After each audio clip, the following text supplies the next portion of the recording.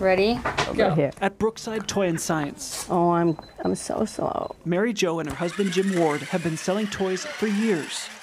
Oh, those are so fun. And each holiday season is exciting I love these wall balls. because there's a new list of best toys, like wall balls. Those are fun. It's especially exciting when uh, we find something that our grandkids love and we can tell somebody else about it. The Specialty Toy Association has a list of 17 award winners, something for every age, He's trying to catch that ball. from toddlers So textile. to tweens. Kind of feels a little bit like a putty, but it's never going to dry out. The Mad Mutter Putty can calm any kid down It's soothing. and get them creating blocks, building their imagination. You could make castles, you can make whatever you want. Space flyers are like helicopters.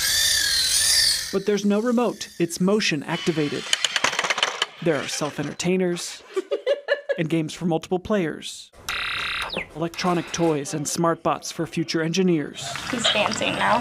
What's more exciting is when they come back and they say it was that was a home run. That they they the loved it. That's the that's the best part. Smiles all around because the holiday shopping is done.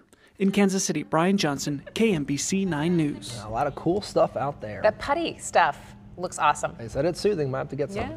Well, there are award winners for different age groups and categories like family game night or even construction play. And Brian has posted the complete list of those winners on his Facebook page. And we